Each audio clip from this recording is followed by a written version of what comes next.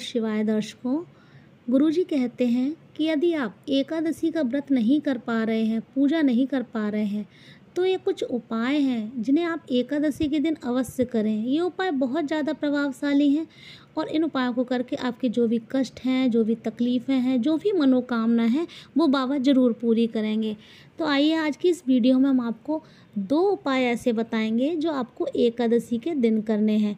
तो पहला उपाय है किसी विशेष मनोकामना को लेकर। आपके घर में दरिद्रता बहुत है, आपके घर में आर्थिक संकट बहुत है, बहुत ज़्यादा आप परेशान हैं किसी भी समस्या को लेकर, चाहे वो धन की हो, नौकरी की हो, आपके व्यवसाय की हो।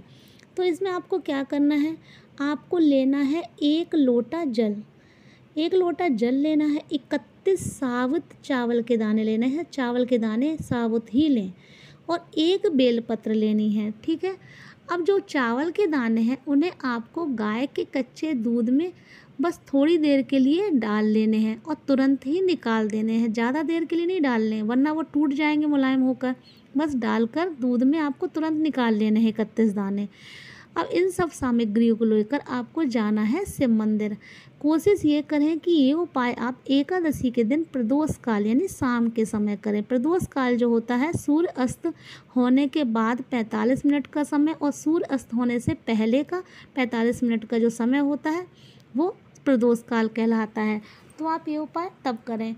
और अगर आपके पास टाइम नहीं है आप नौकरी की वजह से या किसी और वजह से आपके पास टाइम नहीं है तो ये उपाय आप कभी भी कर सकते हैं। कोशिश यही करें कि प्रदोष काल में ये उपाय करें।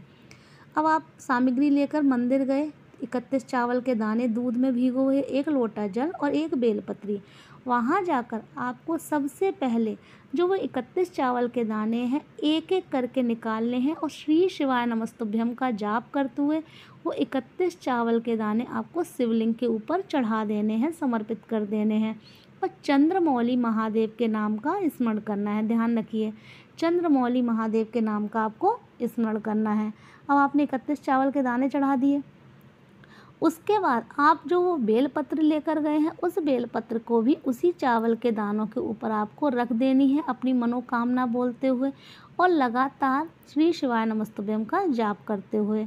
और फिर सबसे बाद में आपको वो जो एक लोटा जल है, वो आपको उसी बेलपत्र और चावल के दानों के ऊपर समर्पित कर देना है।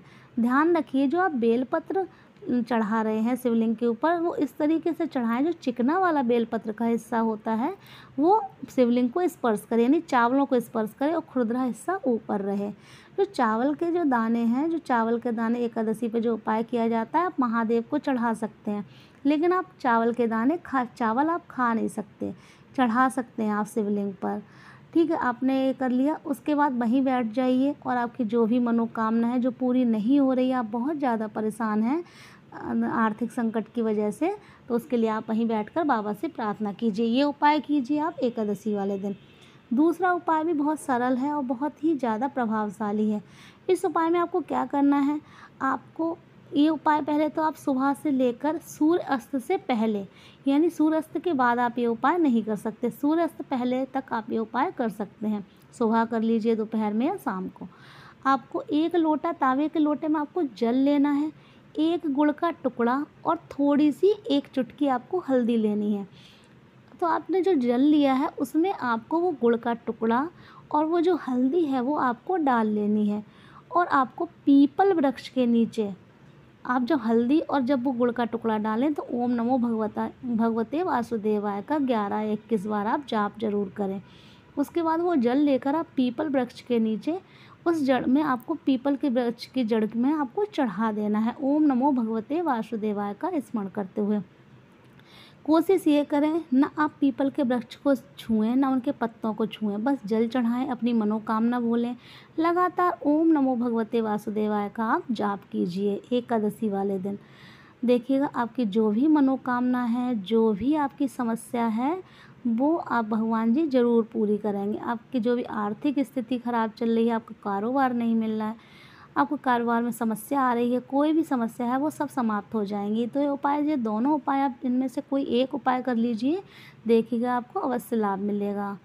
अगर आपको वीडियो अच्छी लगी है, जानकारी अच्छी लगी है तो प्लीज़ वीडियो को लाइक कीजिए, चैनल को सब्सक्राइब कीजिए और कमेंट बॉक्स में हर हर महादेव ज़रूर लिखिए।